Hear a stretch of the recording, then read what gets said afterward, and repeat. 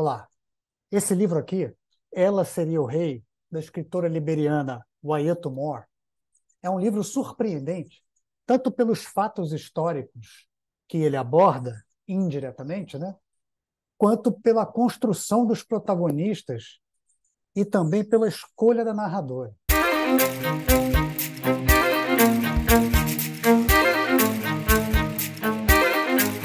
Se não fosse um livro,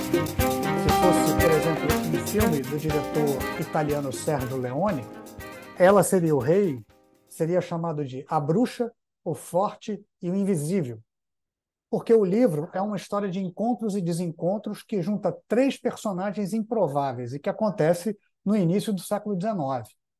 Bessa, June Grey e Norman são os protagonistas. Cada um deles tem uma característica diferente. Cada um deles vem de uma região diferente do Atlântico.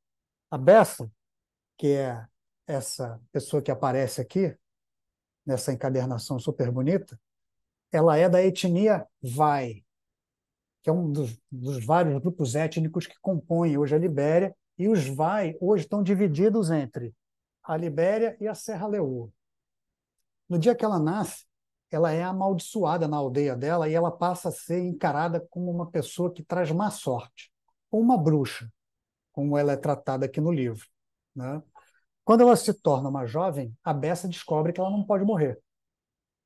O Johnny Day ou Moses, como está no livro, ou traduzindo para português Moisés, ele nasce numa fazenda no sul dos Estados Unidos, na Virgínia, e quando ele se torna jovem, ele descobre que ele tem uma força descomunal e que ele é invulnerável. O terceiro personagem chama Norman Aragon. Ele nasce na Jamaica. Ele é filho de um, um branco, um ocupante colonial britânico, e de uma mulher negra, uma maroon, ou uma quilombola, da Jamaica. Quando ele se torna jovem, o Norman descobre que ele herdou os dons da mãe e que ele consegue ficar invisível. Antes que você pergunte, não. Eles não vão se juntar para se tornarem os vingadores do século XIX. Até porque esses dons eles estão muito mais ligados à conexão com as crenças religiosas e a ligação primordial de nós, seres humanos, e dos povos negros africanos e das afrodiásporas com a, o além, o mundo do além, do que esses dons são manifestações de superpoderes, como a gente está muito acostumado hoje por causa dos filmes de super-herói. Né?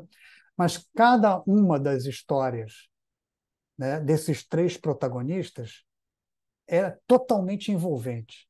A gente fica à espera do momento em que os três vão se encontrar e também em quais circunstâncias eles vão se reunir. Uma beleza à parte né, é também acompanhar a história da Charlotte, que não chega a ser uma protagonista, mas ela tem uma história importante, né, um momento importante no livro, porque ela é a mãe da June Day, ou do Moses, ou Moisés, e é muito bonito na narrativa quando a gente descobre como ela se torna a narradora. E algumas das pistas de como ela se torna a narradora estão aqui na capa do livro. Essa edição aqui, que é belíssima, da Dark Side. Essa ficção histórica aqui, ela acontece entre as décadas de 1820 e 1840. E tem vários panos de fundo históricos ali. É, os Estados Unidos escravagistas, diante da Guerra de Secessão, que é a história do John Day, a ocupação colonial britânica na Jamaica, depois que eles expulsam os espanhóis, né? e o fim da guerra dos Maroons, ou da guerra dos quilombolas, né? que acontecem duas guerras entre os britânicos e os quilombolas jamaicanos, que aí envolve a história do Norman Aragon, e também a criação da própria Libéria como um país. Né? E mais do que isso, como a Libéria se torna a primeira república do continente africano, fundada em 1847 né, por ex-escravizados e por famílias negras libertas e livres que foram levadas dos Estados Unidos de navio para cá, nas primeiras décadas do século XIX. A gente discutiu esses panos de fundo no último encontro do África em Livros, em julho. Se você quiser entrar no nosso grupo, é só você pegar as informações que estão aqui embaixo, nos links aqui de baixo, ou se você estiver assistindo esse vídeo no Instagram, é só você clicar no link da bio aqui em cima.